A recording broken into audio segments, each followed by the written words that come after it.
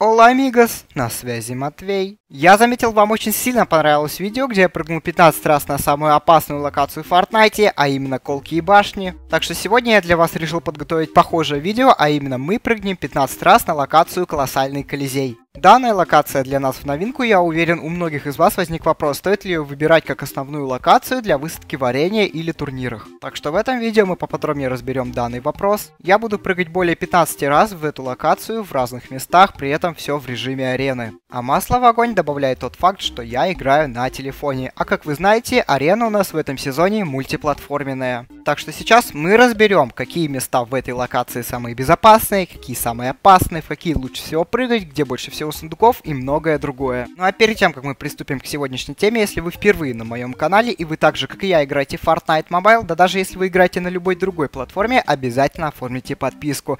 Поддержите меня как начинающего автора, я стараюсь. А если вы уже подписались, то ни в коем случае не стоит забывать, что наилучшая поддержка меня – это мой тег автор Мотивкар в вашем ежедневном магазине Fortnite. Смело вводите его и покупайте исключительно с ним. Также вы можете делать скрины ваших покупок с моим тегом и добавлять их к специальные альбомы и группы канала ВК, ссылка в описании. Так вы сможете попасть в роли, как и следующие ребята в конце видео. Ну а теперь, после небольшой саморекламы, давайте-ка приступим к нашей игре.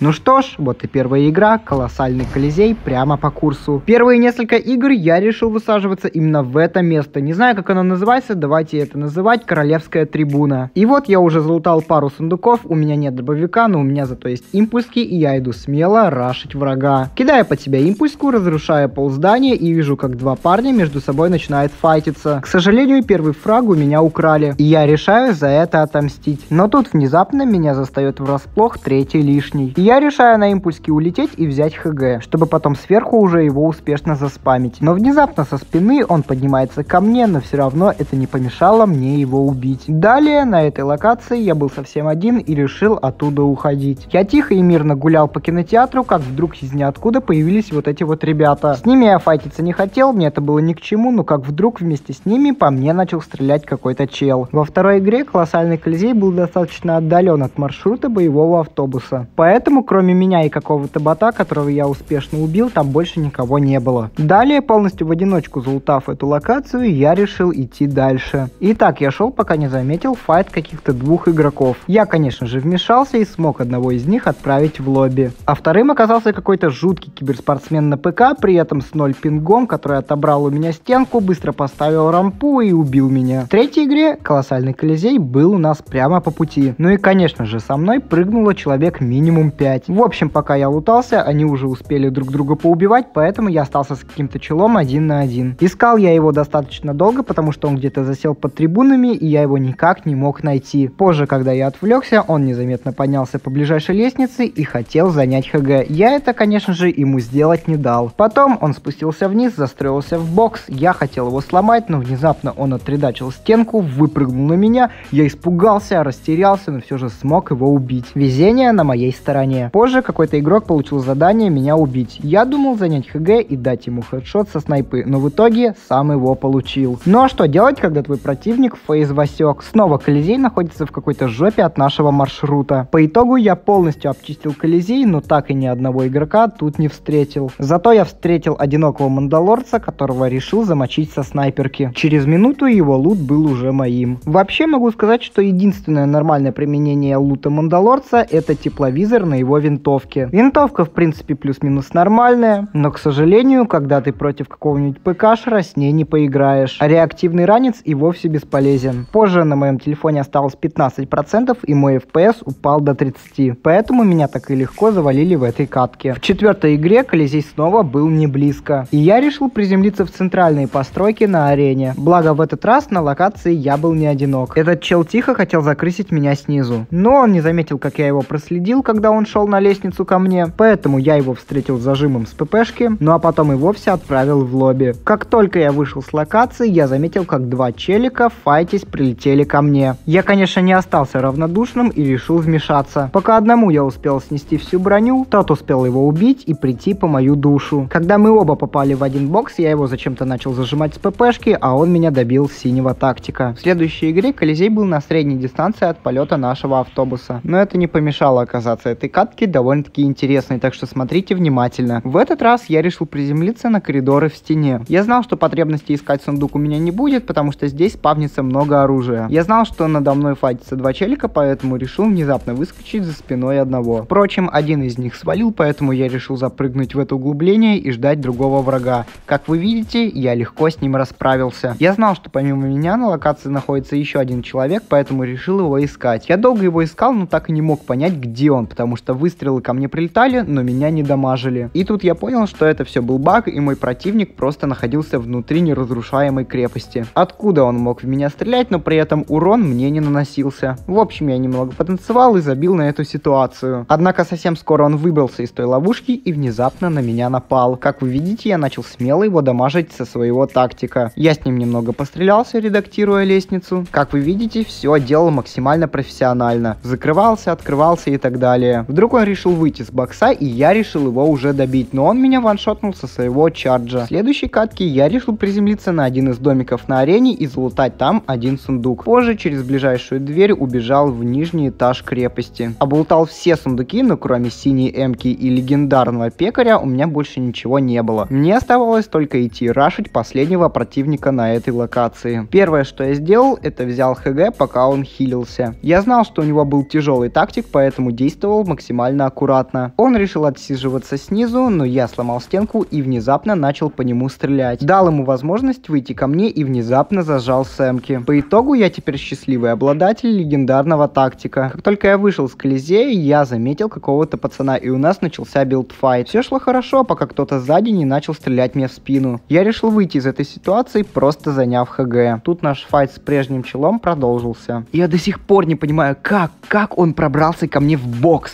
Посмотрите повтор записи. Я ставлю стенку и только потом он прилетает ко мне. В любом случае, так как у меня был золотой тактик, я легко с ним расправился. Однако пришел второй чел и тут повторилась такая же ситуация. Ну неужели мой интернет настолько плох? Далее я хотел приземлиться прямо на стену. Вообще у каждого места высадки в этой локации есть своя фича, но об этом давайте поговорим в самом конце. Вообще эту игру я отыграл как-то посредственно. Например, вот, надо мной происходил файт, у меня были импульски, и я решил резко ворваться снизу. Чел спокойно сидел в конусе, запивался, я ему с эмки снес весь армор, он меня своим тактиком лакишотом чуть не убил. С помощью импульски я хотел его ретейкнуть, в общем, он застроился в бокс, но я решил тоже похилиться. Как же я пожалел, что на этот пол не поставил конус, так бы он бы не выпрыгнул и меня бы не убил. В следующей игре я тоже решил высадиться на вершину стены, только там, где уже есть сундук. Так, по началу игры у меня уже будет хайграунд, у меня будет оружие, у меня будет хил, у меня будут ресурсы, потому что на вершине стены их добыть негде. Потом я пошел на лестничную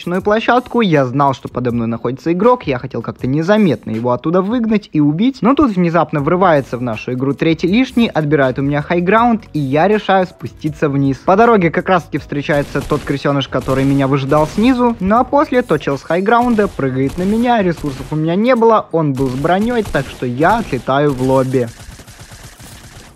Последняя игра получилась довольно-таки динамичной. Я беру М-ку и иду викеть остальных противников, которые еще не успели приземлиться. Пока мой противник был занят другим парнем, я его спокойно убиваю. По такой же тактике хотел убить и второго чела. Но все же я потом вспомнил, что патронов у меня нет, ресурсов нет, и я решил валить вниз. Сидел, ждал своего противника, вот он появился, у него был дробаш, у него были ресурсы, у меня этого ничего не было, поэтому я умираю. Так, ну что я могу сказать по итогу? Колоссальный Колизей отличная локация локация. Думаю, это теперь будет моя мейн лока. Это максимально сбалансированное место на карте. Локация находится в центре, здесь падают не так много людей, но при этом здесь и не пусто. Хотя иногда, когда локация находится отдаленно от маршрута боевого автобуса, здесь вы никого кроме себя встретить, к сожалению, не сможете. Эта локация сама по себе особенная, она не такая, как все. Во-первых, что ее выделяет, это неразрушимые места. Да, стены в этой локации разрушить нельзя. Здесь есть как и плюсы, так и минусы. Из минусов, что что у вас возникнут проблемы, когда вы захотите спуститься через стены. Уверен, у всех вас, кто посещали данную локацию, возникали такие проблемы. Когда вы на вершине стены, вы хотите спуститься, у вас не ставится ни пол, ни стена, и, соответственно, вы падаете и теряете большую часть хп. Да, это минус, но отсюда вытекает и плюс, что если, например, вы играете в трио, вы можете полностью отцепить данную локацию, если она находится в зоне, и никого близко не подпускать. Да и вообще, эту локацию окружает сплошная пустошь, и с нее легко мониторить противников. А так как рядом находится Мандалорец, вы можете его убить, взять у него винтовку с тепловизором и так выслеживать каждого, кто приближается к вам. Ладно, давайте поговорим, какое место высадки в этой локации является самым лучшим. Выбора у вас вообще особо-то и нет. Это либо вершина стены, либо это трибуны, либо это сама арена. Причем прошу заметить, что арена всегда бывает рандомной. Арена может быть застроена чьими-то постройками, которые могут редактировать все. На арене может быть пару небольших домиков вместе с кораблем викингов. Ну и на арене вообще ничего не может быть. В общем, давайте разберем каждый из вариантов. Прыгайте на вершину стены, у вас есть ground. У вас будет оружие, но минимум ресурсов. Но у вас есть бонус, а именно углубление в стенах, которые нельзя разрушить, и вы можете в них прятаться. Второй вариант это трибуны. Лучше всего прыгать на королевскую трибуну, потому что вас там будут ждать целых два сундука. Ну а также там можно достаточно нафармить камня для вашего файта. Ну и последний вариант сама арена. Да, в принципе там делать нечего. Особенно если вариант арены у вас редактируемые постройки. Лучший вариант это корабль викингов, потому что около него есть небольшие домики, в которых можно найти сундук. Лутайте быстро сундук и через ближайшую деревянную дверь врываетесь в самый последний этаж стен. На последнем этаже стен достаточно безопасно, если вы встретите игрока, у вас начнется боксфайт, там достаточно сундуков, ну а также можно хорошо нафармить себе дерево. Ну а также не забывайте про два главных входа в Колизей на юге и севере. Если что, просто взрывайтесь в песок и валите оттуда как можно дальше. Ну а что думаете по поводу этой локации именно вы? Пишите об этом в комментариях. Если вы досмотрели этот ролик до этого момента, уверен, он вам понравился, так что не забудьте поставить лайк, если вы этого еще не сделали. Пишите в комментариях, какую следующую локацию мне проанализировать. Ну а по традициям с вами, как всегда, был Матвей. Аста луэго!